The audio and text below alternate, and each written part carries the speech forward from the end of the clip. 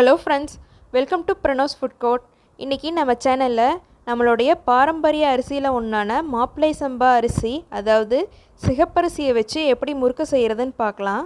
இந்த முறுக்கை பத்தே நிமிஷத்தில் நம்ம செஞ்சிடலாம். இதுக்கு தேவையான மாவை முன்னமே நம்ம ரெடி பண்ணி வச்சுக்கிட்டோமா இந்த முறுக்கு செய்கிறது ரொம்பவே சுலபமாக செஞ்சிடலாம்.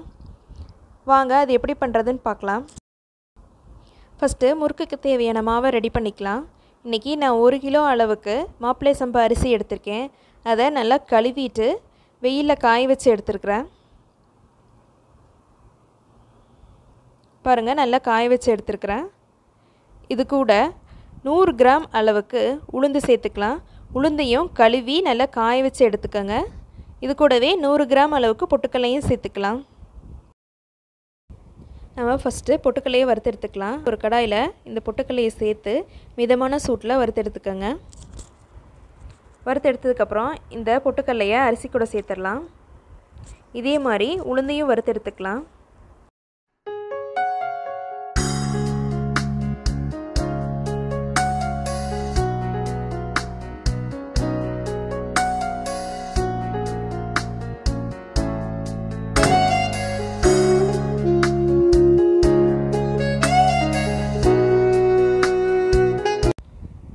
நம்ம வறுத்தெடுத்த உளுந்தையும் இதிலே சேர்த்துக்கலாம். சேர்த்துட்டு இதை மிஷினில் கொடுத்து நம்ம அரைச்சி எடுத்துக்கலாம். பாருங்கள் எல்லாத்தையும் ஒன்றா கலந்து வாளியில் வச்சுருக்கேன். இதை அரைச்சிட்டு வந்துடலாம். மிஷினில் கொடுத்து மாவை அரைச்சிட்டு வந்துட்டேன் பாருங்கள் இது மாதிரி நீங்களும் அரைச்சி வச்சுக்கிட்டிங்கன்னா தேவையான அப்போ எடுத்து நம்ம ஈஸியாக முறுக்கு சுட்டுக்கலாம். இந்த மாதிரி மாவு இருந்தால் பத்தே நிமிஷத்தில் நமக்கு முறுக்கு ரெடி ஆயிரும். ஒரு பாத்திரத்தில் அரைச்சிட்டு வந்த மாவை எடுத்திருக்கேன். இது கூடவே வரமிளகாத்தூள் ரெண்டு ஸ்பூன் சேர்த்துக்கோங்க. உங்களுக்கு காரம் எவ்வளோ தேவையோ அதுக்கு தேவையான அளவுக்கு சேர்த்துக்கோங்க.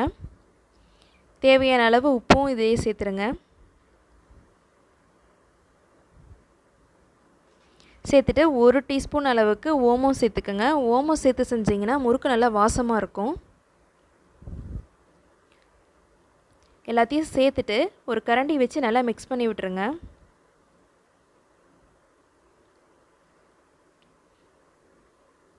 மிக்ஸ் பண்ணி விட்டதுக்கப்புறம் கொஞ்சம் கொஞ்சமாக தண்ணி சேர்த்து பிணைஞ்சிக்கலாம்.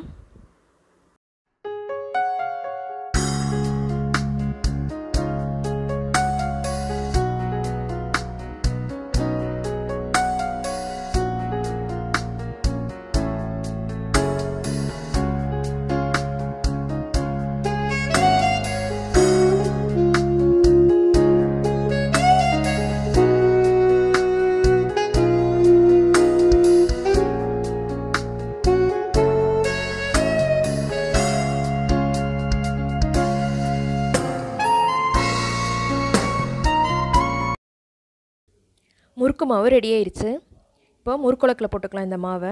பாருங்கள் முறுக்கு அச்சு எடுத்துருக்கிறேன். கொஞ்சமாக மாவு எடுத்து முறுக்குழக்கில் போட்டுக்கலாம். போட்டு நம்ம முறுக்கு பிழிஞ்சிக்கலாம்.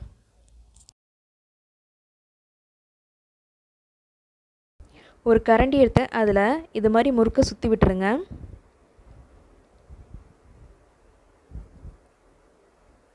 சுற்றி விட்டதுக்கப்புறம் இதை நம்ம காஞ்சிட்ருக்க எண்ணெயில் போட்டு எடுத்துக்கலாம்.